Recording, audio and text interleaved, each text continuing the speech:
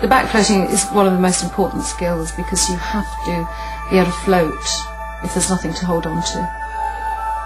If you're in a lake or a pond and you're a very young baby and you're not strong enough to get back to the side and hold on, you've got to be able to float on your back. And even if it's just momentarily and you're bobbing up and down, then you're going to buy yourself time. As you practice more and more, baby will begin to relax and their confidence in the water will grow. You can then remove one hand from their head and eventually both.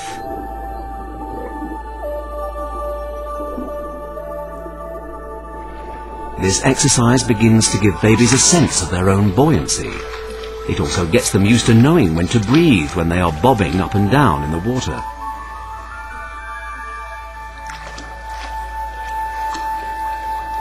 However, not all babies manage to back float on their own at first. It can be a very long process. If baby finds it hard, don't worry. Just keep practicing or if your baby gets distressed, it's best to stop and come back to this exercise in a few weeks' time.